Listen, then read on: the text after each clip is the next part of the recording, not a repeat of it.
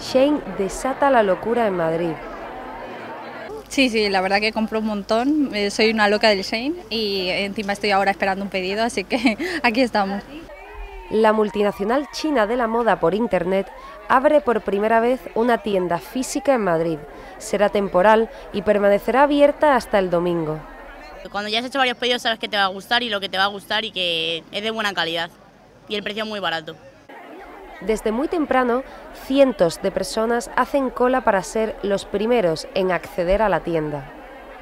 Estamos desde las 8 de la mañana aquí esperando, con un poco de gente, pero bueno, queríamos ser los primeros.